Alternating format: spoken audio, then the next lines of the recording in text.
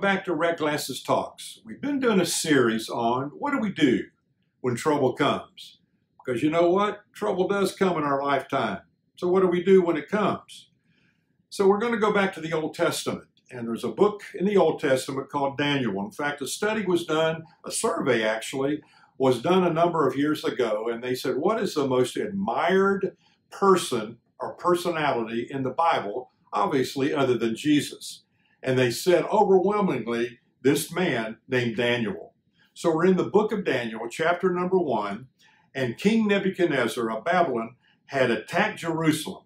And one of the things that he did as they sacked that city was he took these young boys back to uh, Babylon, and they were going to literally brainwash them and help Babylonize them, ever how you would say that, and they were going to become potentially future leaders in that country.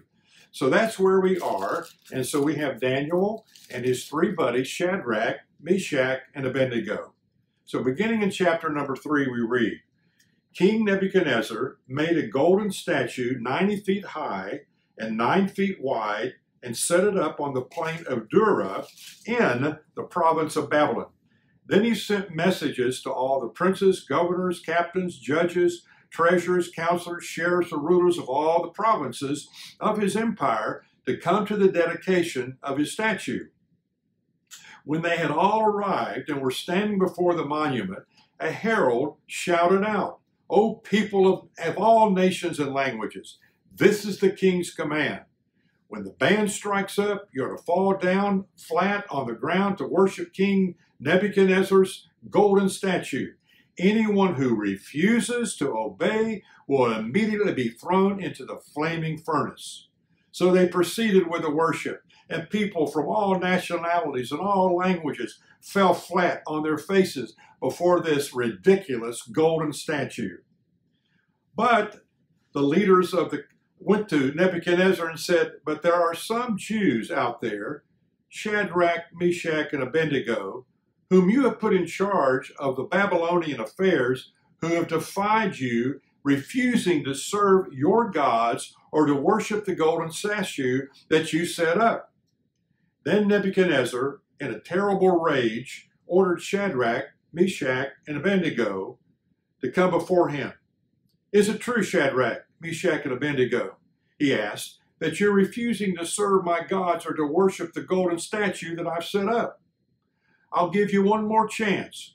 When the music plays, if you fall down and worship the statue, all will be well. But if you refuse, you will be thrown into the flaming furnace within the hour. And what God can deliver you out of my hands then? Shadrach, Meshach, and Abednego replied, O Nebuchadnezzar, we're not worried about what will happen to us. If we are thrown the, into the flaming furnace, our God is able to deliver us, and he will deliver us out of your hand.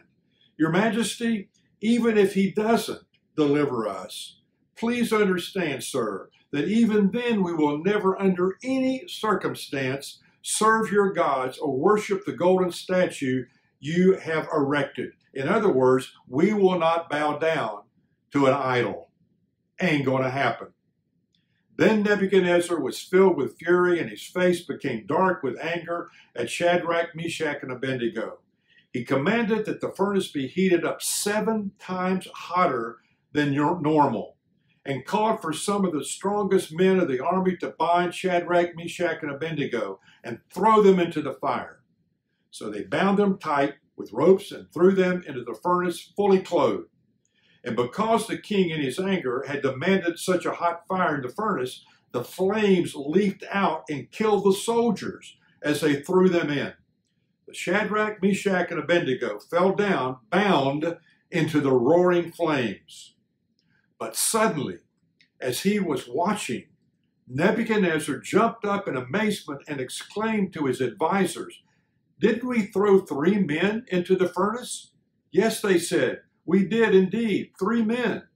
Well, look, Nebuchadnezzar shouted, I see four men, four men, unbound, walking around in the fire, and they aren't even hurt by the flames. And the fourth looks like a God, like the Son of God. So, what is the lesson?